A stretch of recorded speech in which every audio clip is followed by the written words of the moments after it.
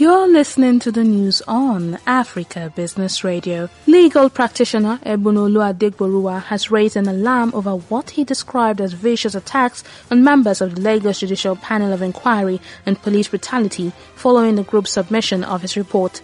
He says members of the panel have become the subject of vicious attacks by those suspected to be agents of the government. He restated that members of the panel were appointed on merit, debunking reports that they lobbied to get into the position. Adegboruwa described a report credited to an unnamed counsel to the Lagos state government that members of the panel took bribes as unfair, ungodly, and least expected of the government and its lawyers. That was the news at this time at Africa Business Radio. You can continue to listen live online at www.africabusinessradio.com or via a mobile app. I am Chukunonso Modi and thank you for listening.